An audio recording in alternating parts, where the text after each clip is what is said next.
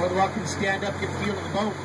More, uh, once you're comfortable with the motion of the boat, if you want to move around, I'm going to go ahead and call it green conditions, as long as you're following the safety rules. Again, one hand on the boat at all times, so one hand in picture taking. Feet flat on the deck of the boat, not the rails or the benches. Then up and down the stairs, facing the stairs. As long as you're going to follow the safety rules, it is again green conditions. More than welcome to get up, move around. Anytime you want your pictures taken, let the crew members know. Trust me, they are professional photographers. Used every kind of camera made.